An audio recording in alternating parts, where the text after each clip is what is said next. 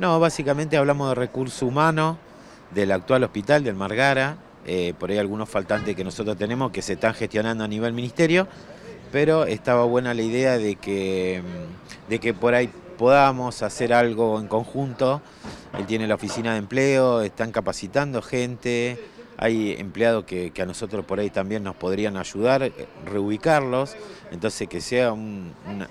área del hospital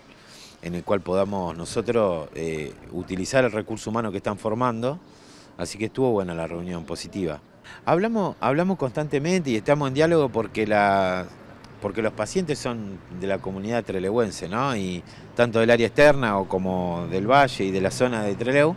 eh, es permanente el diálogo eh, con Sergio Bartel y con parte de los chicos del equipo de salud, en el cual tienen que resolver alguna problemática y, terminamos hablándolo al tema. Pero diferente que nos podamos poner en sintonía eh, con cosas más,